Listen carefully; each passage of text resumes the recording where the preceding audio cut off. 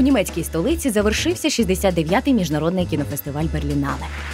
Головну нагороду фестивалю статуетку золотого ведмедя здобув драматичний фільм Синонім ізраїльського режисера Надава Лапида. Стрічку знято в копродукції Франції, Ізраїлю та Німеччини.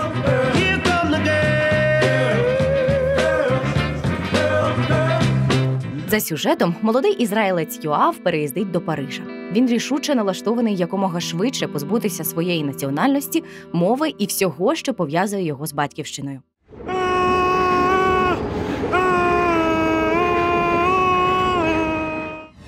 Він відмовляється від усіх слів, що знав раніше, і тепер йому потрібні нові. Це будуть французькі слова синоніми.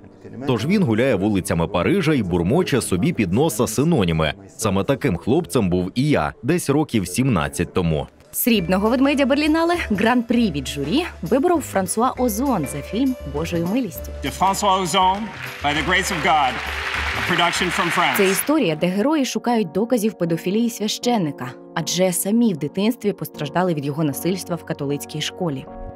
Я не знаю, чи здатне кіно змінити світ, але я впевнений, що воно може допомогти світові стати ліпшим. Допомогти світові стати ліпшим спробували і творці фільму Містер Джонс спільного виробництва України, Польщі та Британії. Проте жодної нагороди стрічка в Берліні так і не здобула. Пол. Алло. Е, не работает.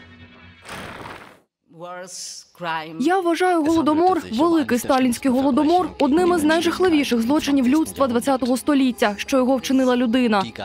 І до того ж, цей випадок дуже маловідомий. Гаррі Джонс, журналіст, який на власні очі побачив голод в Україні і першим розповів про це світові. На Берлінале фільм показали вісім разів із повними залами. Тож місію розповісти світові українську історію кіно виконало в Україні. Фільм вийде у прокат наприкінці 2019 року.